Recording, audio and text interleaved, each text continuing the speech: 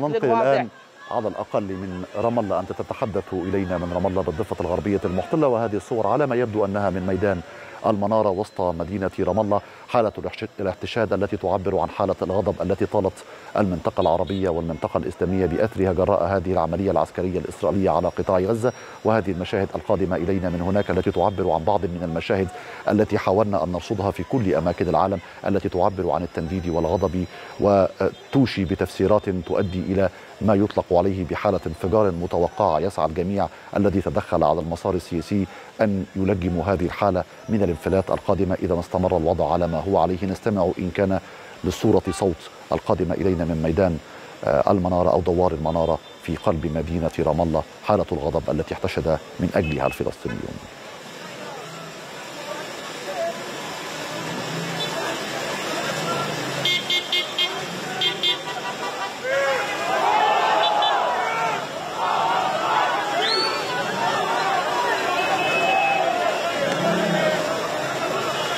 على الأقل اتصالا بهذا المشهد الغاضب القادم إلينا من أماكن الف من أماكن فلسطين التاريخية سواء داخل الخط الأخضر أو داخل مدن الضفة الغربيه المحتله أو القادمة من جراء الدمار الحاصل وهو نقلنا الأساسي من داخل قطاع